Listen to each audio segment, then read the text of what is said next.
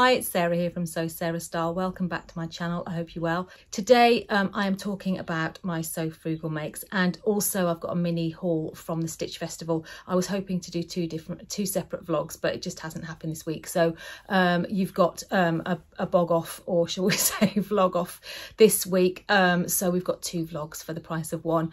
Um, so I'll start off with my Sew Frugal makes it's um, it's a bit of a mixed bag, which I find actually sometimes the case with these. I had huge uh, plans of making lots of different drapey tops. Well, I wasn't going to make all of them, to be honest, tops and dresses, but I absolutely definitely wanted to make the bias, the Hanna bias cut dress from Mood, Pat, Mood Fabrics, which I have done. I'm actually wearing it at the minute and I'm wearing it with the Closet Core t-shirt, which was also a plan to do. Um, sorry, I thought somebody had come in then. Everybody's at home. And, um, but I actually prefer to wear the t-shirt over the bias cut dress. The bias cut dress isn't a disaster by any means, but I'm not sure that it goes um, particularly well. The, the t-shirt's quite boxy and the dress is quite fitted. So um, i am going to insert some footage um, a little bit later. I'll do a bit of a dress up as somebody called it and made me laugh in the comments. Um, so I've done some dress ups for you today and I'll, that that will be coming a, a little bit later. So yeah, the, the dress I am pleased with. There are a couple of issues with it because I, as I as I said, the toile I made with the facing, and um, I found on Tessuti patterns their Sadie slip dress. They had instructions for how to put um, bias a bias tape finish with it. So I've I've tried that and it's it's okay. It's not massively successful. It's a little bit gapey under the arms, but I'll show you that um, a little bit later. Other than that, I'm actually really pleased with it. It's it's a nice pattern. As for the Closet tee, I absolutely love this pattern. It goes together beautifully. It's a really nice shape. Again, I'll put some pictures in. Um, I'm really, really, really pleased with this. I did a toile. I know it's mad. I've already made it. And I did another toile of the t-shirt. Um, but just to check the fit before I cut into this fabric because I do love this fabric. Oh, that reminds me, just indulge me for a second because I just need to show you this pattern matching. There you go. How about that? How perfect is that? Oh, look, and a thread tail as well. There's always thread tails. Um, that side's not quite so good, but you know, you just have to show off the best, your best side, don't you? Um, so really pleased with that. So those to be honest were the only two patterns out of everything that I did manage to make. I'm still really really want to make the um, the salute blouse which was the cowl neck blouse from mood patterns. However there is another challenge coming up next month or very shortly and I'm going to throw that one into there. So hopefully might be able to make the salute blouse for the Sew April blouse 24 challenge. I hope I've got that right. If not, then I'll put it on the screen. Um, that um, Gabrielle from the Cloth Edit and um, Ruan are running this April. So that's exciting. So that could possibly be one of the blouses that I make. Um, so that was, as I say, that was it for the actual Sew Frugal itself.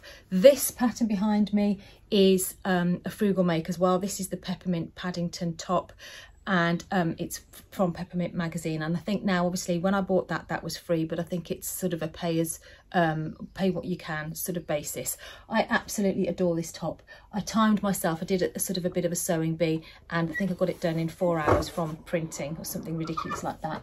And I absolutely love these little vintage buttons that I've put down the back. It's all completely fake. The, I, I made the placket because I like I like the style of that but um, none of the buttons are operational because I don't I don't need to be. So if you do make that, I really wouldn't worry about um, doing all the buttonholes and stuff. So as I say, I, I didn't I didn't um, I didn't do any of them. So um, what I'll do now is I'll put in some footage of me with showing you the bias cut dress and hope it all makes sense because um, I have just filmed it and I really didn't know what I was talking about. So I'm going to put it in anyway. And um, if you've got any questions, just ask me. But um, yeah, on the whole, I'm really pleased with um, both patterns. If I do make the dress again, I probably will... Um, I don't know actually whether I'll use the facing or not. I've done the bias binding. The bias binding was easy. But as I say, I don't know whether that's um, the Hanna bias cut dress is a slightly different shape to the Sadie and the Tessuti Sadie. So it might be that actually the bias binding works better with the Sadie than the, the hand, than the bias cut dress. I don't know. It's just a bit wonky under the armpits, but have a look at this and, and you'll be able to see. so this is it on its own excuse the bra straps i haven't found a strapless bra um yes it's fine it will it will work well i think um the one thing that i was saying uh, was the bias binding is quite loose under the armpits which obviously is more obvious when i haven't got a t-shirt on. But i will show you um, a little bit more detail and i'll just go and pop the t-shirt on so you can see that as well. So this is it with the Closet Core t-shirt and I quite, I quite like it with the t-shirt actually, I don't mind it. It's, as I was saying, it's quite loose underneath, but when you've got the t-shirt on, it, it doesn't really matter at all. It's not it's not gaping or anything because obviously the t-shirt fills that gap. So um, yeah, I think it works quite well. I think obviously it's a, I need a bit of a sway back or something going on around the back that isn't quite right. But um, it flows quite nicely and um, yeah, the fit is fine. So I'm not unhappy with it with the Closet Core t-shirt as well, so it sort of works. So I think this is the way that I prefer to wear it actually. So just a, uh, the Closet Core t-shirt and it just looks like a, a, bias cut skirt with it then. Um, if I wanted to, um, although it's quite boxy at the moment, which is fine, but if I wanted to, I could try and get a bit more shaping in it with a little trick. Hang on a second. Um, if I remember rightly, it's just to twist the front of the t-shirt, get an elastic band or hair bubble or whatever, put that round there and then just tuck it under. Um, so you can rearrange it how you want to but it just gives just gives a little bit more interest and a bit more shape to it really. So that's another way of of wearing it. So there you go there's a little tip. Don't say you don't get anything for free on this channel Okay, so I'm back now with my Stitch Festival hat on. So that was sew frugal and um, I just wanted to show you some of the things that I bought at the Stitch Festival. So I went last weekend and um, as predicted, it was hugely busy. I did enjoy it. I, what I enjoyed was seeing people, to be honest, and catching up with people. Um, I know um, there have been so many amazing vlogs that have gone out, so I won't um, go through the whole day because A, I'm useless and had no pictures anyway, and B, to be honest, Kind of, I think you've probably seen it all. You've had a flavour of, of, what it was about. So there were, like I say, so many fabulous um, people there that um, friends and new people that I met. It was a really, really lovely day. But if I'm completely honest, I found it quite overwhelming in terms of how busy it was. So um, it was yeah it was it was a mixed day. I really wasn't in the right frame of mind for fabric buying. A i don't particularly need any fabric obviously and b you, i just could i just couldn't sort of i didn't know i didn't need anything. I didn't know what i wanted. Couldn't really get to the stalls. I did manage to get a couple of bits though. Don't worry too much. Um, i'll just show you those now.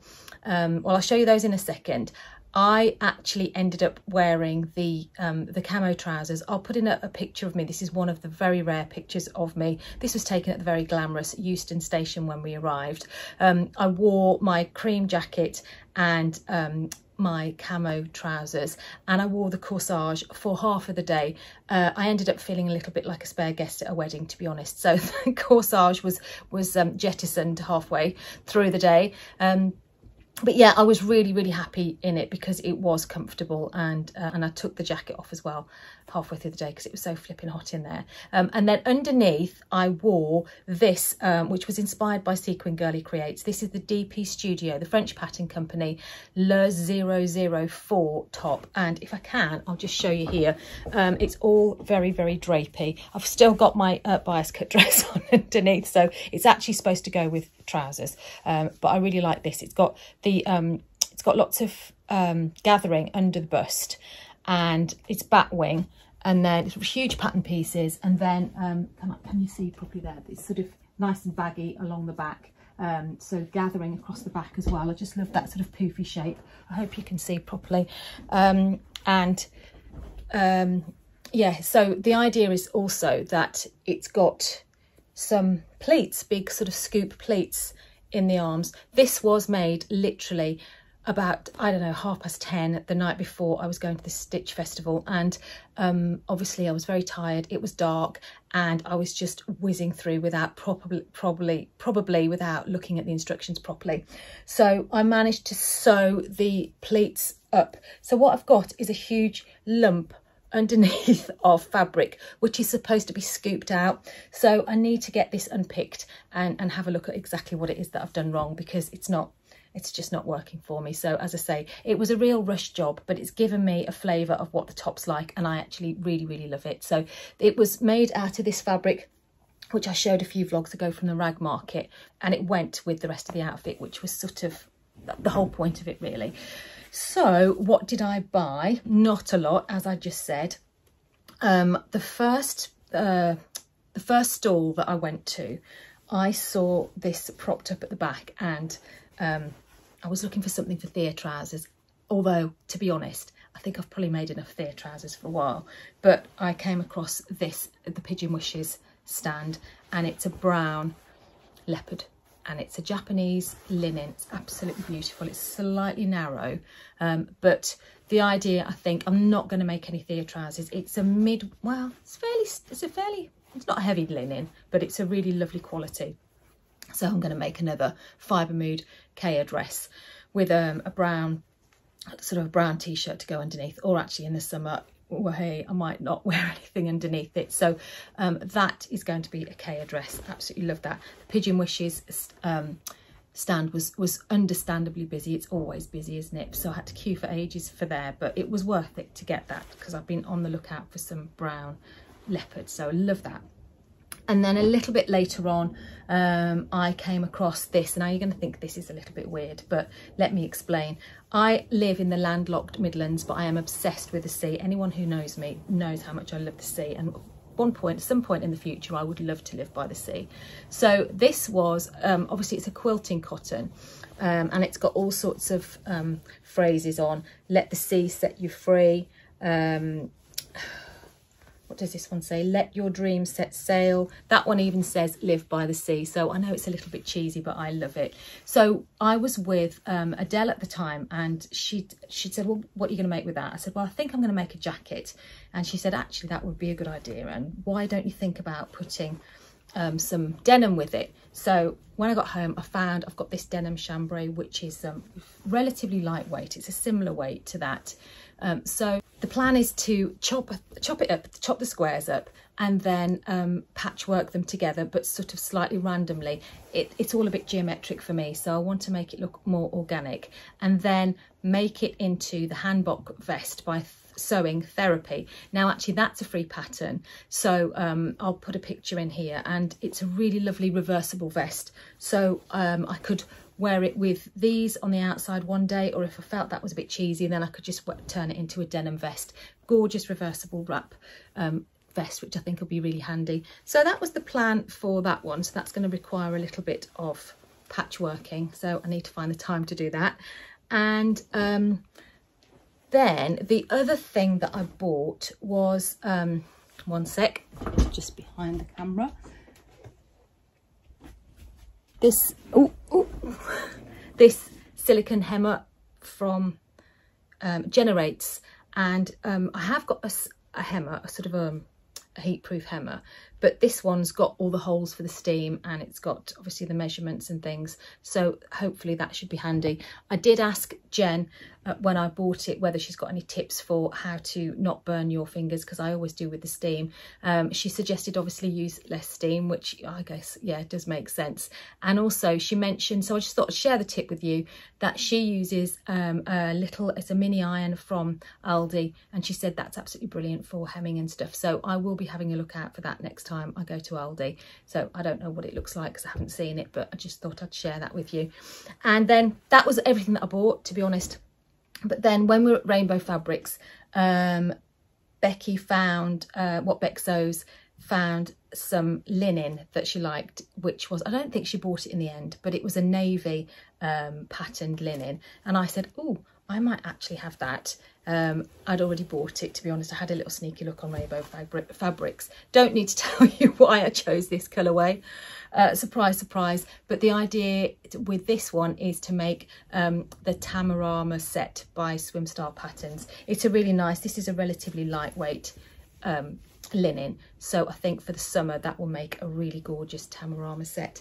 So that, to be honest, I'm looking around, that is that's it for me today. So um, that's the my Sew Frugal makes and also what I wore to the Stitch Festival and what I bought. So uh, I think I will leave you there and I will hopefully catch up with you soon. As I say, sew a, a blouse for April, sew April Sew April blouse, should have looked that up before I said it, is coming up very soon. So there will be a vlog for that. And also I actually haven't managed to get my Closet Core Crew pattern made up this month, which is ridiculous because at the end of the day, it's a t-shirt. Um, but I think what I'll do is a double whammy next month. So I'm waiting to see what the new pattern is. That will come out on the 1st of April. And um, hopefully it might go with the t-shirt and then I can make them both up together. So I've got the fabric for it. I just need to find time to do it. So in the meantime, I will catch up with you soon. Happy sewing. Take care. Bye.